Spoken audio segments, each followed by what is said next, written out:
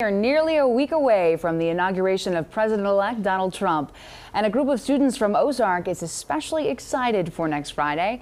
They'll be in Washington, D.C. for all the festivities. The school came in second in a nationwide inauguration contest. So five students and a teacher will personally experience Donald Trump taking the oath of office. Uh, I'm super excited. We have come so far and waited so long. And it's just going to be a great opportunity for all of us to enjoy. No doubt. Well, we know they're leaving in the middle of next week, and students say they're excited to listen to the keynote speakers and even get on the dance floor with the political elites.